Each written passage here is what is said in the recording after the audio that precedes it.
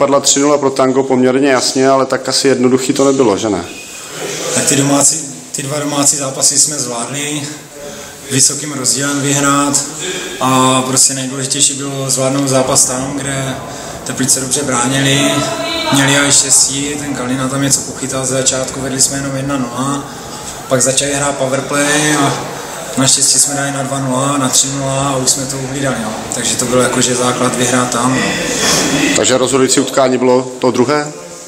Tak rozhodující jsou všechny, jsou důležitý, že jo, je to playoff, ale určitě nejdůležitější bylo tam, no. V čem si myslíš, že tango převyšovalo Teplice?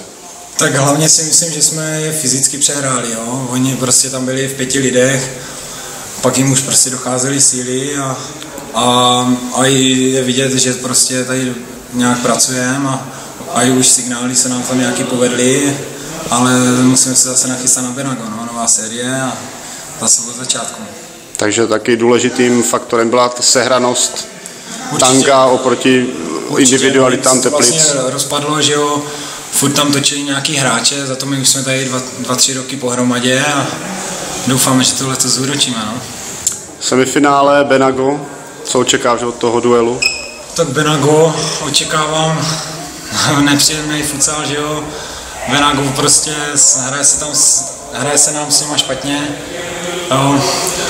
Osobně prostě, snažil se hodně kopat Jamba Beliho, tak uvidíme, no. Zase to bude o proměňování šancí a a o poctivý defenzivě. Bude výhodou to, že Berago hraje první utkání doma? Těžko říct, no. Tak doufáme, že to tam zvládneme a, a prostě co, co nejrychleji, no.